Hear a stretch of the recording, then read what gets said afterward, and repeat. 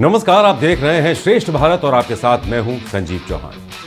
सोमवार को हुए अफ़गानिस्तान पाकिस्तान के हाई वोल्टेज मैच में अफगानी शेरों ने पाकिस्तानी सूरमाओं को करारी शिकस्त क्या दी, हर तरफ़ इस टीम का बोलबाला हो गया।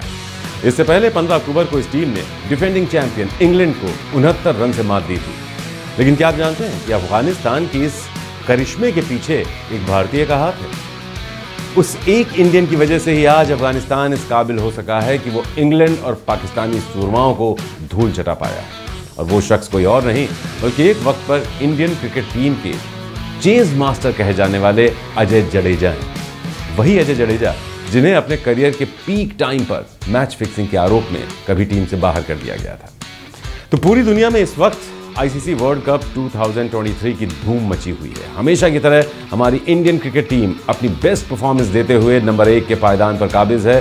पूरी दुनिया को हैरान करते हुए रोहित शर्मा की कप्तानी में इंडियन क्रिकेट टीम अभी तक एक भी मैच नहीं हारी है। तो वहीं एक और टीम है जिसने अपने चमत्कारी खेल से हर किसी का ध्यान अपनी ओर आकर्षित किया है और वो टीम है अफ़गानिस्तान जी हाँ आज तक इस टीम के बारे में कहा जाता था कि ये किसी बड़ी क्रिकेट टीम को चेज करके नहीं हरा सकती, या फिर किसी बड़ी टीम का मुकाबला नहीं कर सकती। लेकिन इस बार आईसीसी वर्ल्ड कप 2023 के महामुकाबले में अफ़गानिस्तान ने वो कर दिखाया, जिसने क्रिकेट जगत को हिला कर रख दिया है और अपने बारे में फैली तमाम भ्रांतियों को भी दूर कर दिया है। वर्ल्ड कप 2023 के महामुकाबले में बाबर आज़म की टीम को धूल चटाने के बाद सोशल मीडिया पर एक वीडियो क्लिप तेज़ी से वायरल होने लगी। इस क्लिप में अजय जडेजा से सवाल पूछा गया कि ये टीम क्लोज आकर बड़ी टीमों को गिरा क्यों नहीं पाती? इस सवाल के जवाब में भारत के पूर्व क्रिकेटर अजय जडेजा कहते हैं, तभी तो आज आप भी कह रहे हो कि अफ़गानिस्तान छोटी टीम है। जिस दिन गिरा देंगे, उस दिन ये बड़ी टीम हो जाएगी। तो सुनिए। कितने साल हुए इनको खेलते हुए? बाकी टीमें जो आई हैं, वर्ल्ड कप खेलने, वो सौ सौ, डेढ़ डेढ़ सौ साल की हिस्ट्री है। ये तो बीस साल पुराने भी नहीं है। तो जर्नी चल रही बट फिर भी कितनी क्लोज आके गए। दो तीन बार तो पिछले 19 वर्ल्ड कप में तो हम बड़ी मुश्किल से बचे थे लास्ट ओवर में।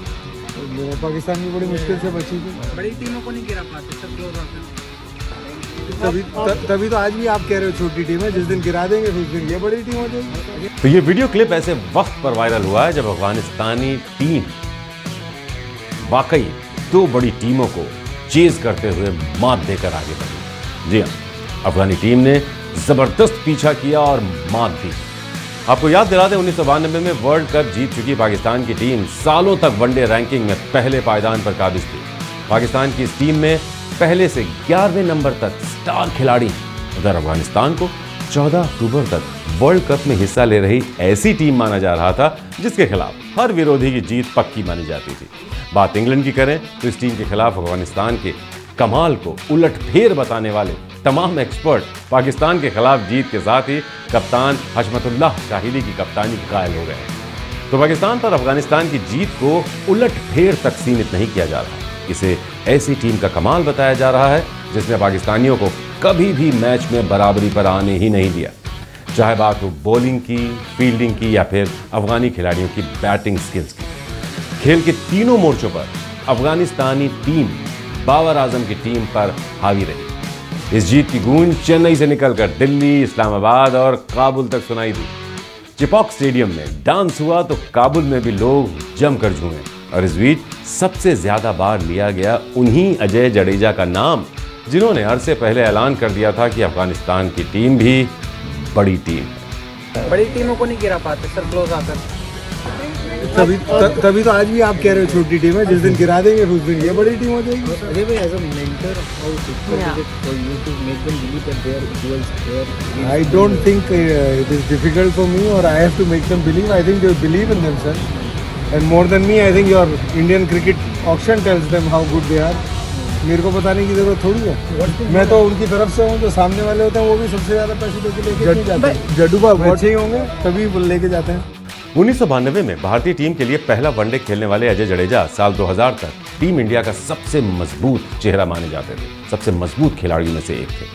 अजय जडेजा, जो इंडियन क्रिकेट टीम के मिडिल ऑर्डर में कभी सबसे भरोसेमंद बैट्समैन हुआ करते थे, उनकी और रॉबिन सिंह की घातक जोड़ी को आज तक याद किया जाता है।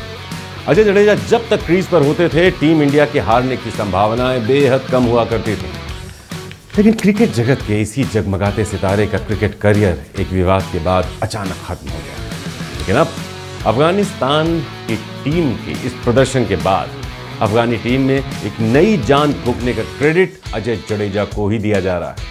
क्योंकि अजय जडेजा ही इस वक्त करिश्माई अफ़गानिस्तान की टीम के मेंटोर हैं।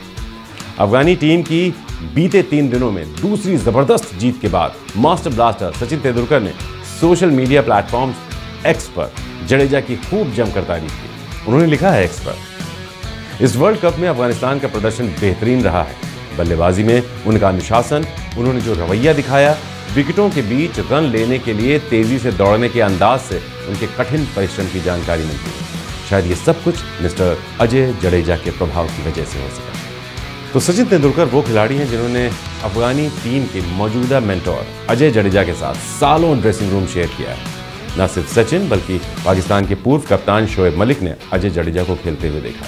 वो उनके साथ बतौर कमेंटेटर भी काम कर चुके हैं। शोएब मलिक मानते हैं कि अफगानी टीम में आए बदलाव का सबसे ज़्यादा श्रेय अजय जडेजा को ही दिया जाना चाहिए। साल उन्नीस सौ बानबे से 2000 के बीच जडेजा ने टेस्ट मैच तो सिर्फ़ 15 खेले थे, लेकिन इस दौरान एक सौ छियानवे वनडे मैचों में वो भारतीय प्लेइंग 11 का हिस्सा थे। फ़ील्ड पर हमेशा मुस्कुराते दिखने वाले अजय जडेजा अपनी चुस्ती, फुर्ती और खेल की वजह से आठ साल तक भारतीय टीम के सबसे लोकप्रिय खिलाड़ियों में से एक थे।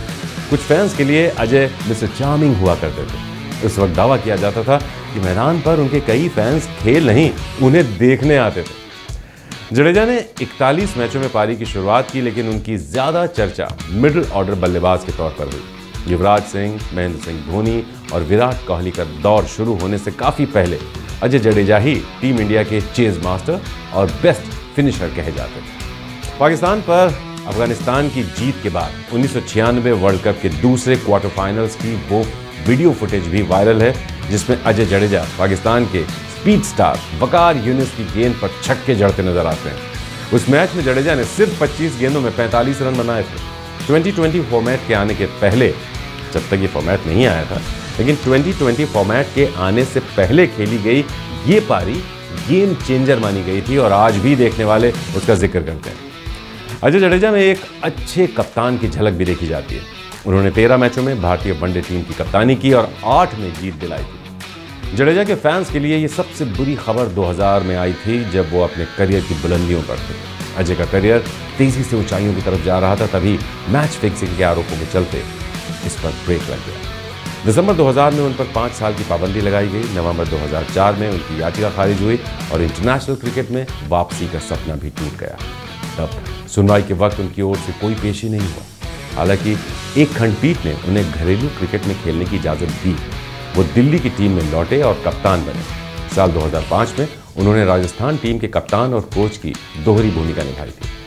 अफ़गानिस्तान टीम के मेंटोर के तौर पर अजय जडेजा ने इस टीम की सोच को ही बदल कर रख दिया है। टीम पर करीबी नज़र रखने वालों का दावा है। अजय जडेजा ने इस टीम को जीतने का मंत्र सिखा दिया। अजय जडेजा का दावा है कि अब ये टीम किसी भी विरोधी के आगे खौफ में नहीं रहती। जडेजा का मानना है कि अफगानी खिलाड़ियों की सबसे बड़ी खासियत उनकी निडरता है। वो किसी भी टीम की आँख में आँख डालकर टक्कर दे सकते हैं। वाकई, अजय के दावों में सच्चाई तो ज़रूर है। और पहले की अफगानी टीम के मुकाबले आज की टीम में काफ़ी फ़र्क भी देखा जा रहा है। ये फ़र्क कितना बड़ा है, इसे पाकिस्तान और इंग्लैंड समेत पूरी दुनिया समझ भी रही है। वरना सालों तक नंबर वन रैंक जी हाँ नंबर वन रैंकिंग रखने वाली इंग्लैंड या पाकिस्तान जैसी टीम को चेज करते हुए हरा देना कोई बच्चों का खेल नहीं है। अफगानी टीम की इस कामयाबी और अजय जडेजा का इसमें कितना अहम रोल है, इस बारे में आपकी क्या राय है, ये हमें कमेंट करके ज़रूर बताइएगा। तो बस खास खबर में इतना ही, लेकिन देश और दुनिया की तमाम खबरों के लिए आप देखते रहिए श्रेष्ठ भारत डिजिटल न्यूज़ चैनल। नमस्कार। श्रेष्ठ भारत पर खबरों से जुड़े रहने के लिए चैनल को सब्सक्राइब करें, बेल आइकन दबाएँ और देखते रहें श्रेष्ठ भारत।